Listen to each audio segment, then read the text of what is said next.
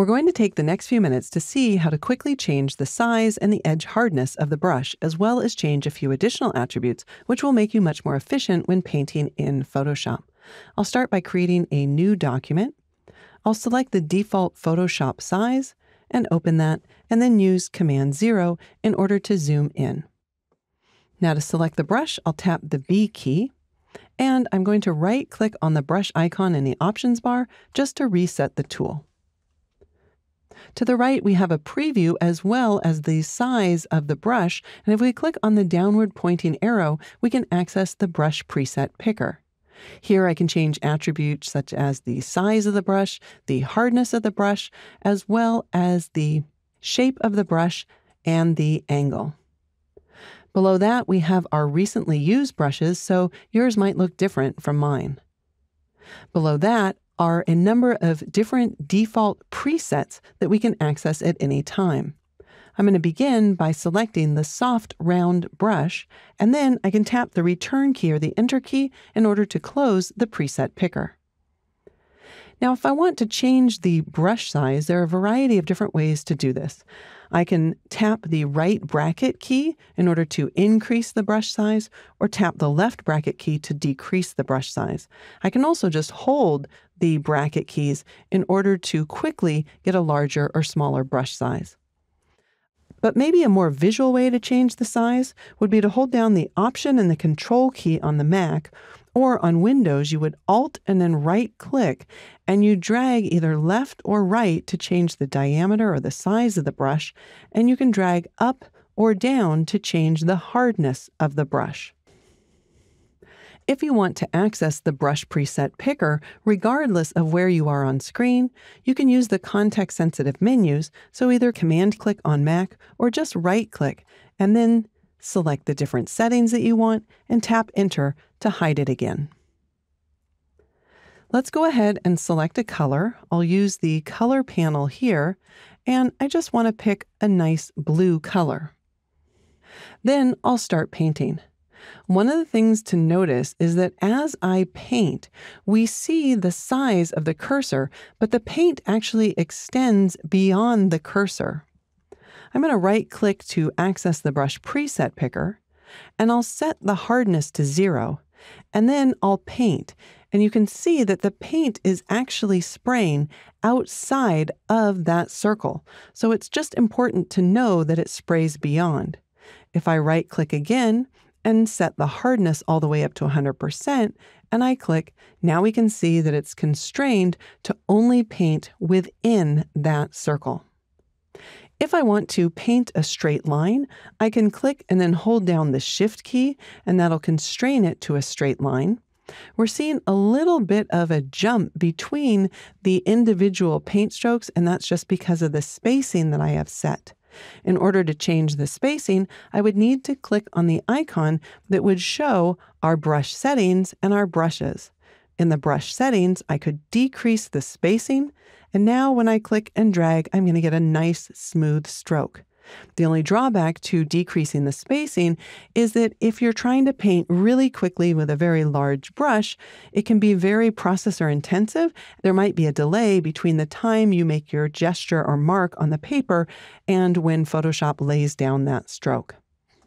If I ever need to connect the dots between two areas, I can click once in order to set down a paint stroke, hold down the Shift key, and then click again, and Photoshop will draw a straight line between those two points. All right, let's use the Edit menu, and I'll choose Fill, and let's just fill the canvas with white again.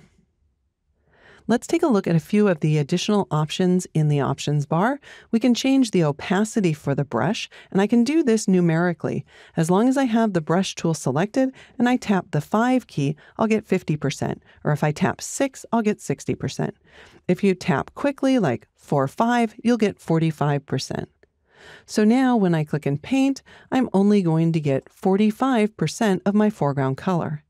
If I click and paint over it, you can see that I slowly start building up the paint strokes. If I want to return to 100%, I just tap the zero key. Now, the flow is a little bit different from the opacity. The flow setting is going to control the speed at which the paint is laid down. So I imagine it's like pressing the nozzle of a can of spray paint. Are you pressing the nozzle just a little bit, or are you pressing it all the way down? So with the flow at 100%, you are spraying it at 100% as quickly as possible. But when I move the flow down, now it's going to take a while in order to build that up. I'm going to move it all the way down to 2% just to make sure that we can see. And I'm also going to get a softer edge brush. So I'll right click and change the hardness down to zero. I'll tap return to dismiss that. And now, as I click and paint, we can watch as it slowly builds up because I have the flow set down so low. All right, I'll set the flow back up to 100%. And we need to talk a little bit about smoothing. So, as you make longer strokes, it can be helpful to use the smoothing slider. I'm going to get a little smaller brush by using the left bracket key.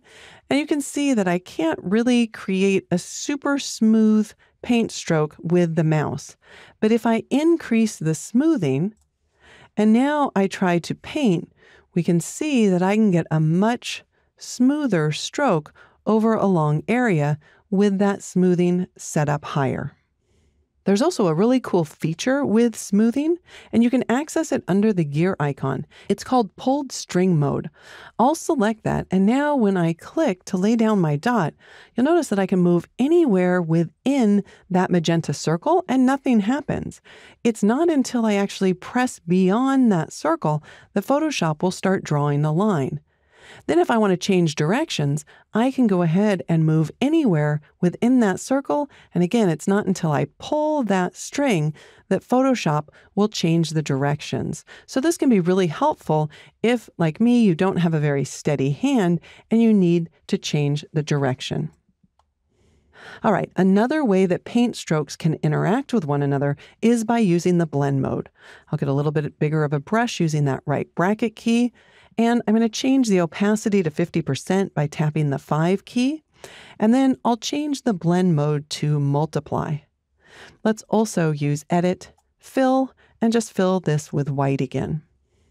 Now I'll make one paint stroke and let's go ahead and set the smoothing back down to 10% and also turn off the pulled string mode. So I made the one paint stroke, and now I'm going to multiply that paint stroke together every time I click and paint over it. And while the opacity is having an effect, it's also the multiply blend mode that's going to continue to multiply these together even far darker than my foreground color. If I want the opposite effect, I could choose screen. And now every time I paint, it's actually lightening that area. It's almost as if I'm painting with bleach. All right, I'm going to fill the background one more time, but this time I'm going to use the keyboard shortcut. I'm going to hold down the Command key on Mac or the Control key on Windows and tap the Delete key, and that will fill with my background color. Now, if you're planning on doing a lot of painting in Photoshop, and you don't have to necessarily be a painter, you might be working with a lot of masks. Well, I would recommend that if you are, that you invest in a pressure sensitive tablet. So I'm going to switch over. I've got a Wacom tablet here that I'm going to start painting with. And the biggest advantage here is when you're working with a mouse and you do one paint stroke, you can change the size and the opacity between each paint stroke, but not during the paint stroke. So I've got my pressure sensitive pen now, and I'm going to set the blend mode back up to normal. I'll bring the opacity back up to 100%, and let's take a look at some of those presets in the brush preset picker. I'm going to make this a little bit larger so we see two rows of presets here. You'll notice that we've got soft round and hard round presets, but then the next set, they actually vary in size, and we can see that the stroke will taper. So I can select the soft round pressure size or the hard round pressure size, and I'm going to get pressure sensitivity of the size of my brush. So even though I've got a relatively large brush, as I start painting, depending on the pressure that I lay down, I can get a large brush or I can back off on the pressure and I can get a small brush. If I return to the preset picker and we change the preset to opacity, now when I paint very lightly, I'm just going to lay down a little bit of paint, but as I press harder, I can lay down more and more paint. I can also choose to vary the opacity as well as the size at one time. And I can either do that by selecting another brush, or let's just move this out of the way, and I can click on this icon right here, which is going to override any of the settings that are applied to the pen and give me pressure sensitivity. And I can also enable this option right here, which will override the settings of the selected preset and give me pressure sensitivity for size. So now I can start painting lightly and I get a smaller brush and not a lot of ink. But as I press harder, not only do I get a larger brush, but I also get more ink laid down. So as you can see, this pressure sensitivity with the tablet is really an advantage. And there you go. That's how you can quickly select a brush and change the essential settings like size and opacity, flow, and smoothing for the painting tools in Photoshop.